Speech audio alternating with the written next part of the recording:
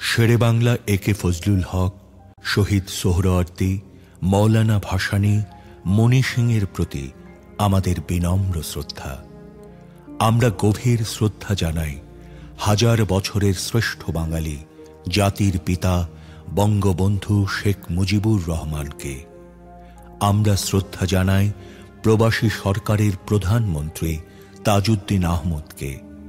আমরা শ্রদ্ধা জানাই একাত্তর পূর্ব ছাত্র নেতাদের, যারা বান্ন, বাষট্টি, ছেষট্টি, ঊনসত্তরে গণ আন্দোলনের সৃষ্টি করে বাঙালি জাতির স্বাধীনতা ও মুক্তির সংগ্রামে বঙ্গবন্ধুর পাশে ছিলেন।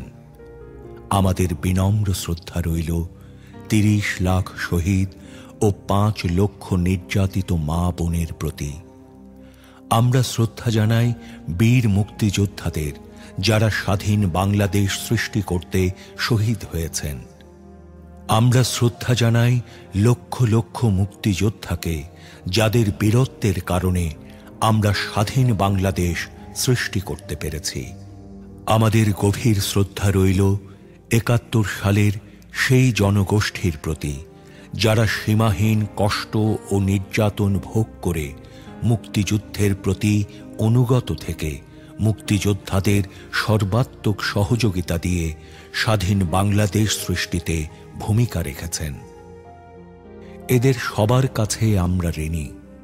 হাজার বছরের শ্রেষ্ঠ বাঙালি, জাতির জনক, বঙ্গবন্ধু শেখ মুজিবুর রহমানের কাঙ্ক্ষিত বাঙালি জাতীয়তাবাদী চেতনার বিকাশ, শোষিতের গণতন্ত্র, শোষণমুক্ত, বৈষম্যহীন সমাজ, মানবিক মূল্যবোধ, সামাজিক ন্যায় বিচার সামাজিক, অর্থনৈতিক, রাজনৈতিক সাম্য প্রতিষ্ঠা করে জনগণকে ক্ষমতার প্রকৃত মালিক করে আমরা এদের ঋণ শোধ করতে পারি।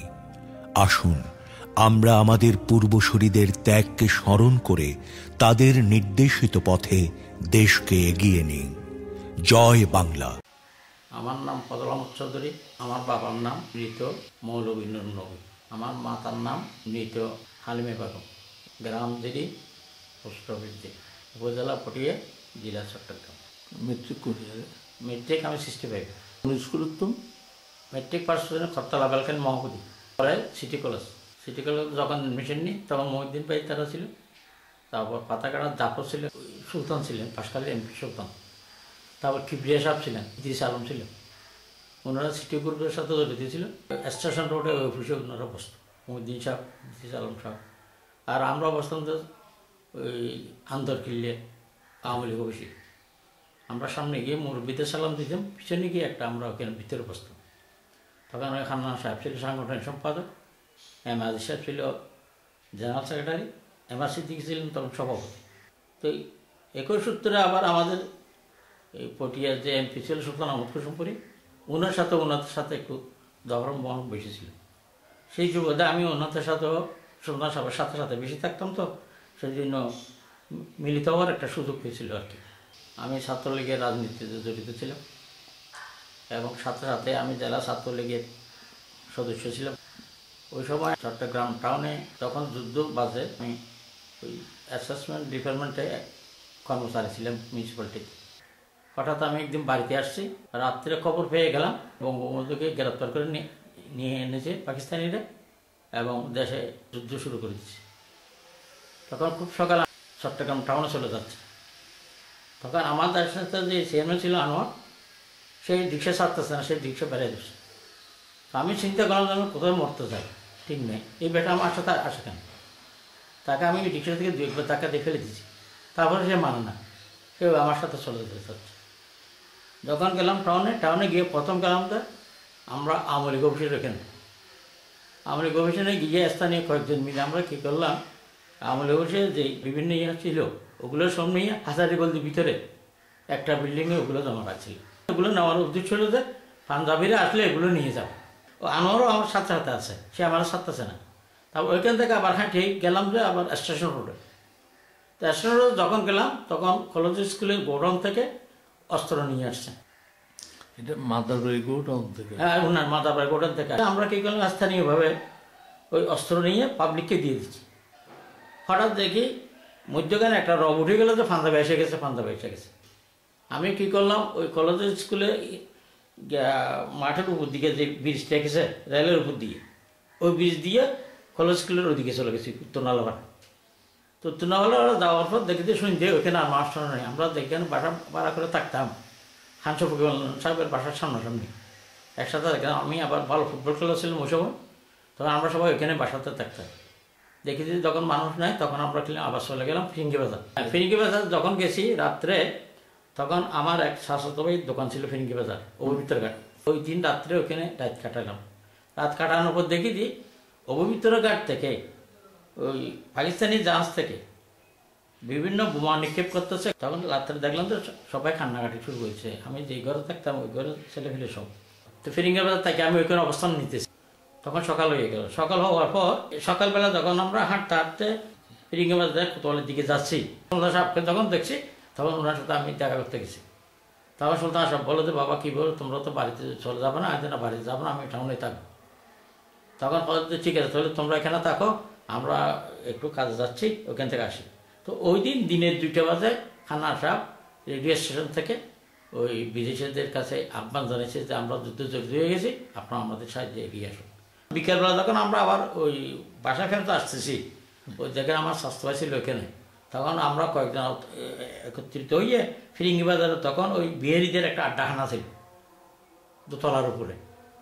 তখন আমরা মনে করলাম যে এরা ওই- ওই বাঙালিদেরকে টাকা টুকু লাগাইতো এরা এদেরকে কেউ কেউ বলতেছে, ওদেরকে ধরো। তো আমরা বলি যে, না, মানুষের দরাদরি করার ঠিক নেই। ওনাদেরকে রক্ষা করো, তারপর দেখি আমাদের এইসব আমরা চলবো আর কি। তখন দেখি যে একজন ওই একজন রোহিঙ্গি আমাদের সামনে পড়ছে ওই বার্মাইয়া রোহিঙ্গি। সে দেখলাম যে কাপড়ের লুঙ্গির উপরে কাপড় ফিন্দে একটা অস্ত্র হাত। সে বলে ওই খাসেম রাজার দোকান আছে না ইয়ের মধ্যে নন্দনখানের দিকে ওইখান থেকে আসছে। তো এই আসার পর আমরা যখন সিঁড়ি ভাই উপরে উঠতেছি ওই বিহারি ওটাকে ধরবো আর কি। সে সময় দেখি তো ওই বেটা পট করে গুলি করে দিছে ওই বিহারিকে। তো আমাদের সামনে প্রথম ইয়ে হইল যে ওই বিহারি ওটি তাকে বললাম তো তুমি গুলি করলা কেন? হয়তো গুলি না করলে সে তোমাদেরকে গুলি করতো। তারপর ওই দিন কিন্তু দেখলাম যে আবার আখতারুজ্জামান সাহেবের ভাই একটা ওই ফিরিঙ্গি বাজার গার্ড দিয়ে নিয়ে যাচ্ছে। ওই যুদ্ধের সময় মারা গেছে তো ওইটা নিয়ে যাচ্ছে বসরুজ্জামান। হ্যাঁ বসুরজামান চারকি বেহার মনে হয় হ্যাঁ নিয়ে যাচ্ছে ফিরিঙ্গি বাজার অভিত গার্ড দিয়ে। বাই- ওনার বাড়িতে। আচ্ছা তারপর কি করলাম? আমরা একত্রিশ তারিখ পর্যন্ত টাউনে অবস্থান করছিলাম। মানে আমাদের জানাজনের লোক টোক নিয়ে সবগুলো মিলিটারি এটা করে একত্রিশ তারিখ তার একত্রিশ তারিখের পরে আমরা টাউন ছেড়ে গ্রামের দিকে চলে আসলাম।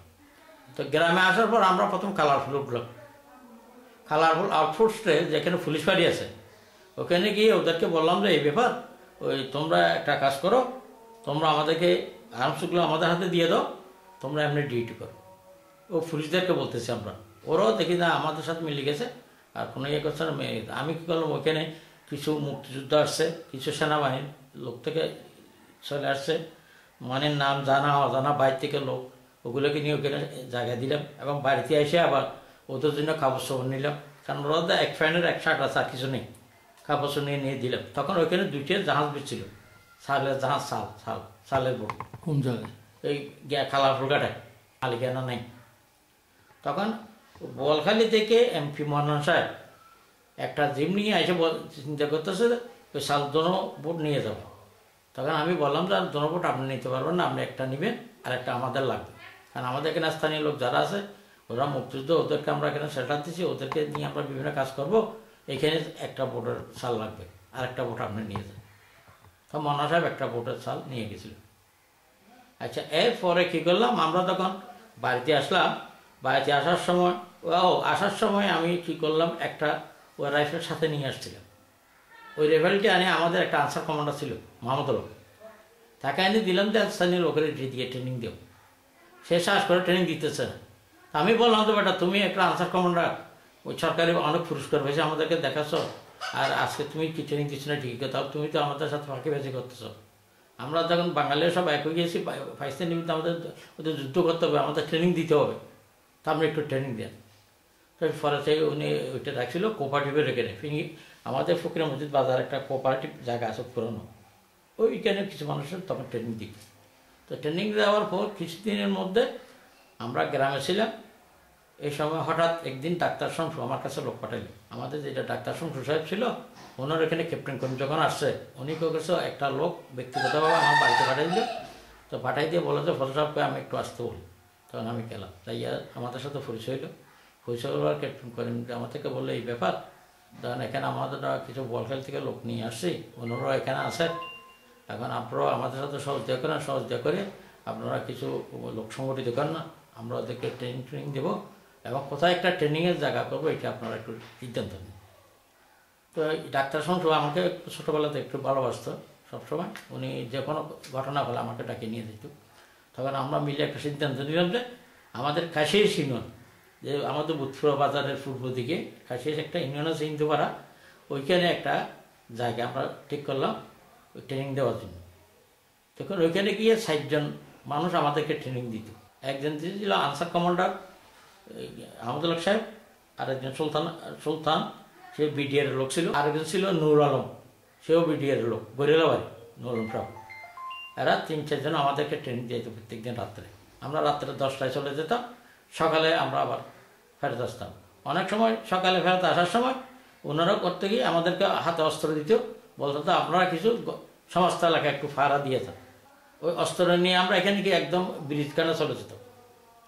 মাস স্ট্যান্ডের এখানে ব্রিজ গানা পর্যন্ত যাইয়া আবার খুব সকালে চলে আসতাম এসে একবার অস্ত্রগুলো এখানে রাখতাম যে আমাদের, আমরা রাখতাম হিন্দু বাড়িতে আমাদের গৌরমাজনের বাড়ি ছিল মধুবাবুর বাড়ি ওই বাড়িতে অস্ত্রগুলো আমরা রাখতাম তারপরে মধ্যে আরেকদিন ওই, এই যুদ্ধের সময় এক সময় কি দিয়ে আমাদের এখানে নেতৃত্বের একটু খন্দল বাজি গেছে। কেউ নাকি খবর বলতেছে যে, এখানে সাতজন আলম নামে একজন নতুন লোক আসতেছে উনি দায়িত্ব নেবেন ক্যাপ্টেন করিমকে দায়িত্ব ছেড়ে দিতে হবে। তো তখন আমি ছিলাম বুথুরা বাজারে। তখন আমি চিন্তা করলাম যে হাইরে গত রাত্রে যে আমি হিন্দু বাড়িতে ছয়টা অস্ত্র রাখে আসলাম। এগুলো যদি খবর পাই, তার বাঙ্গাল যারা যদি পরে ওই সাতজন আলমের সাথে বেরিয়ে যায়, তাহলে আমাদের অস্ত্র নিয়ে যাবে। তখন আমি কী করলাম, সাহস করে কাউকে কিছু না বলে সোজা ওই হিন্দু বাড়িতে চলে আসলাম। আসে নিজের কাঁধে ওই অস্ত্রগুলো নিয়ে তিনটে তিনটে একসাথে নিয়ে আমি ওই আরেক হিন্দু বাড়িতে মানে ওই অস্ত্রগুলো রাখলাম। যেন ওরা যেন রাত্রে এগুলো নিতে আর না পারে। তো আমরা এত কষ্ট করে তখন ওই যুদ্ধ জড়িত ছিলাম এবং এর পরে যিনি মাদ্রাসা যেবার অপারেশন হয়, তখন ক্যাপ্টেন করিম সাহেব আমাদেরকে ডেকে বলল যে, তোমরা দুই, তিনজন লোক থাকো, যেগুলো শুধু পথ ছিল, এমন পথ দিয়ে নিবে যেন লোকে যেন জানতে না পারে যে আমরা মুক্তিযুদ্ধ যাচ্ছি অন্য কিছু যাচ্ছে। তখন আমাদেরকে এখানে আনিয়ে উনি তিন তিন ভাগে বিভক্ত করল। এক ভাগ এইদিকে ভিতর দিয়ে নিয়ে গেল, আর এক ভাগ দক্ষিণ দিকে, পশ্চিম দিকে ঘুরে দিল, আর একদম উত্তর দিকে নিয়ে আসলো। তিন পজিশনে তোমরা যাও মিলে, তারপর ওইখানে গিয়ে আর আমাকে দেখাইয়ে দাও এই মাদ্রাসার মহতম কোনটা। তখন আমরা কী করলাম, আমরা যারা ছিলাম, যারা চিনতাম ওনারা তখন উজুর বাইরে এসে তখন ওনাকে দেখা দিলাম তখন ক্যাপ্টেন সাহেব নিজে গিয়ে সালাম দিয়ে ওনাকে বলল যে, এখানে আমার লোক চারিদিকে ঘিরে ফেলছে। আপনার এখানে অস্ত্র আছে, আপনার অস্ত্রগুলো বলে দেন থেকে আমার থেকে দিয়ে দেওয়ার জন্য। না হলে তো উপায় নেই। এগুলো আপনারা তো রাখতে পারবেন না, আমাদেরকে দিয়ে দিতে হবে। তো সোজা সোজা আপনি বলে দেন, যেন লোকের কোনো ক্ষতি না হয়, সেভাবে আমরা অস্ত্রগুলো নিয়েছি তখন ওই মহতাম সাহেব যখন ওদেরকে ডেকে বলল, তখন বলার সাথে সাথে এদিকে চারিদিক থেকে ফায়ার শুরু হয়েছে। শুরু ওর অস্ত্রগুলো সান্ডা করে বলছে। এরপরে আমাদের এলাকায় কিছু ওই রাজাকর আলবদা আলসামস মিলে এবং স্থানীয় কিছু লুটের মিলে আমাদের এই যে দিলীপ বাবু আছে দিলীপের বাড়িতে ওখানে লুট করতে আসবে। আমাদের একটা ওই কিছু লোক গিয়ে ওখানে আস্তানা গাছছে এটার আগেও আসছে ওখানে ওই বাড়িতে আসবে। আমাদের লোক গিয়েও ওই বাড়িতে আশ্রয় নিছি আমরা কি করলাম এখানে এসে হিন্দু বাড়িতে আশ্রয় নিলাম ওনাদের সাথে কথা হইল যে ওনারা ওইখানে পৌঁছার সাথে সাথে। একটা ওইখান থেকে ব্ল্যাঙ্ক ফাইয়ার দিবে, তখন আমরা বুঝব যে আপনারা পৌঁছছেন আমরা ওইখান থেকে অ্যাডভান্স হব। দেখি যে রাত্রেবেলা ফায়ার হয়নি।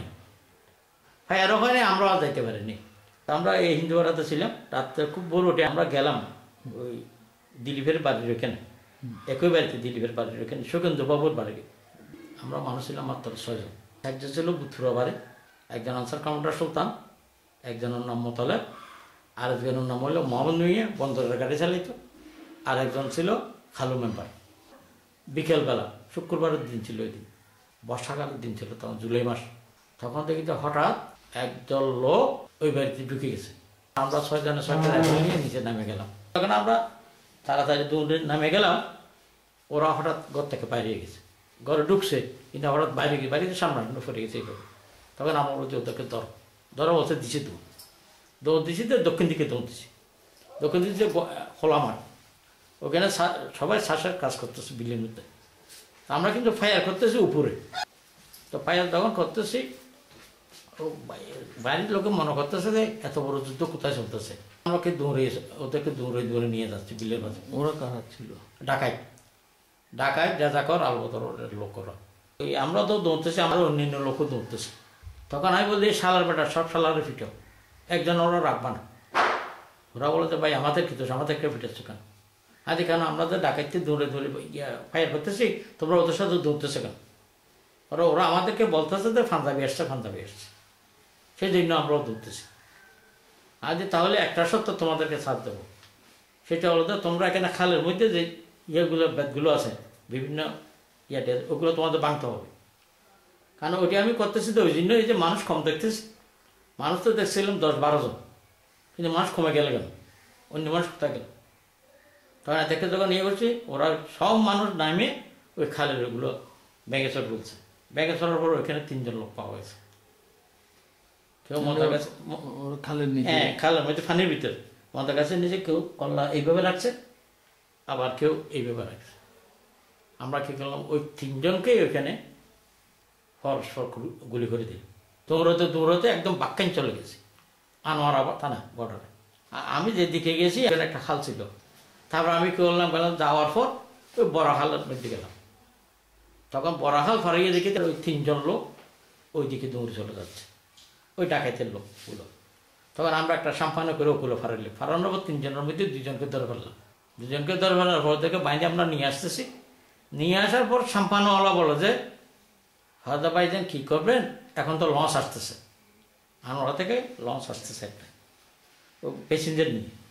তখন ওই লোকটা বলে যে, সাম্পান্নওয়ালা, হয়তো ওই লঞ্চ হয়তো পাঞ্জাবি আছে। তখন আমি বলে দিই, তাহলে তো আমাদের মৌলকর মত এসে গেছে। পাঞ্জাবিরা তো অধিক ট্রেনিংওয়ালা লোক। এরা ফাই টেকলো যে, আমাদেরকে তো মারিয়ে ফেলবে তখন আমরা কী করলাম আচ্ছা ঠিক আছে, তোমরা আমাকে দেখে ফাঁক করে দাও। ওই লঞ্চ আসার আগে আমরা ফারিয়ে যাই। ফারিয়ে যাওয়ার পর আমরা ওই ফুকুর ফাটার ওইখানে ইয়ে করব, অবস্থান নিব। যদি লঞ্চে পাঞ্জাবি না থাকে, তাহলে তুমি তোমার ওই কাপড়টা একটু ঘুরে দিবে। তুমি ঘুরে দিলে আমি জিনিসটা বুঝব। এটা ওদেরকে বলে আমরা চলে আসছি। চলে আসার পর তখন দেখি যে লঞ্চ যখন ফারে গেছে, ওই সাম্পানওয়ালা কী করছে? কাপড়টা এইভাবে ঘুরে দিচ্ছে। তখন আমি জয় বাংলা স্লোগান মানে হুলস্থুল করে স্লোগান দিলাম। তারপর ওগুলো কী করছি? ওই যে লঞ্চ যাওয়ার পর পর্যন্ত আমরা অপেক্ষা করে রাখছি। রাখার পর শেষে ওই দুজনকে নিয়ে যে বাড়ি থেকে বাইরেছি সেই বাড়িতে চলে আসছি। যে বাড়ি থেকে আমরা শুরু করছিলাম। তখন সন্ধ্যা হয়ে যাচ্ছে একদম। সন্ধ্যা যখন হয়ে যাচ্ছে দেখি যে একজন বুড়ো মেয়ে আমাদেরকে বলতেছে বাবা এই ফুকুরের ভিতর কত লোক আছে? ওইটা একটা কচুরি ফেনায় বড়। আমরা কি করলাম আমতাজির উপরে একটা ফাইয়ার দিলাম কচুরি ফেনার ভিতরে। তখন একজনের এখানে লাগিয়ে গেছে। বাইকি কর্ম একজন এখানে লাগছে যে এইদিকে লাগিয়ে এদিকে ফায়ারিয়ে যাচ্ছে। তখন সে ফাল দিয়ে উঠছে। উঠার পর আমরা ধরে উপরে তুলে ফেললাম টানাটানি করে।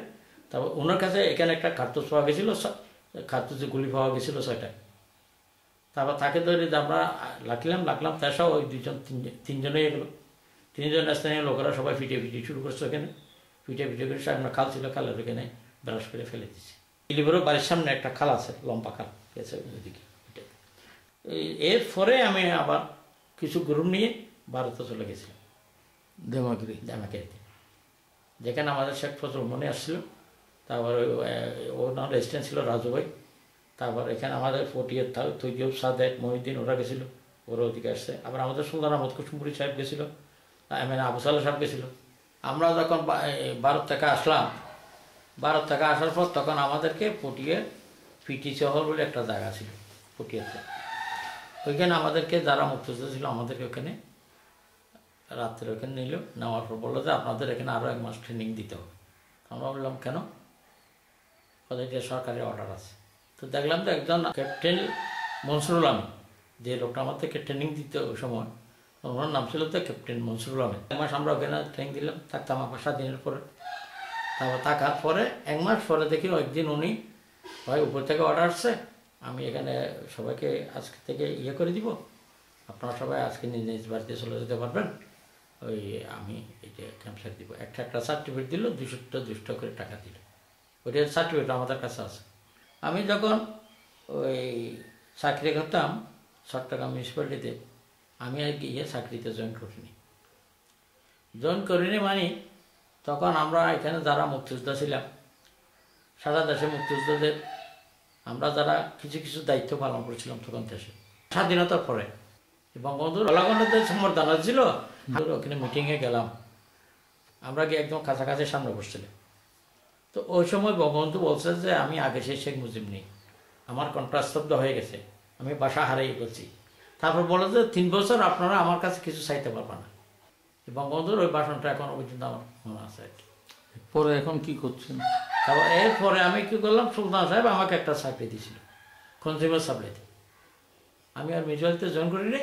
ওই কনজিউমার সাপ্লাইতে আমি ওই জয়েন করলাম, আমার আন্ডারে পাঁচজন স্টাফ ছিল, সেগুলো এখানে ইউনিয়ন পরিষদে বসতো। ওগুলো ন্যায্য মূল্যের জিনিস এনে বেচা বিক্রি করতো আর কি। পোস্ট অফিসে আমরা টাকাগুলো জমা দিতে। এইভাবে চলছে।